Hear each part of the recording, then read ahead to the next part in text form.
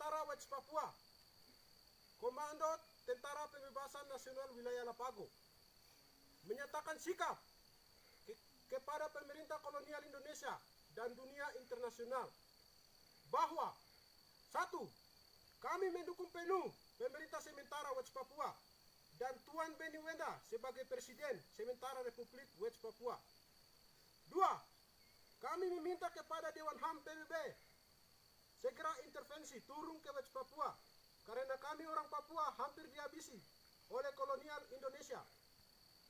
Tiga, kami menolak dengan tegas tentang otonomi khusus Papua dan produk hukum Indonesia. Tidak diberlakukan di seluruh tanah Papua. Empat, kami tentara West Papua. Bukan teroris, bukan kelompok kriminal, bukan separatis, bukan KKB, dan lain-lain. Tetapi kami adalah tentara negara terorganisasi di bawah pemerintah sementara West Papua.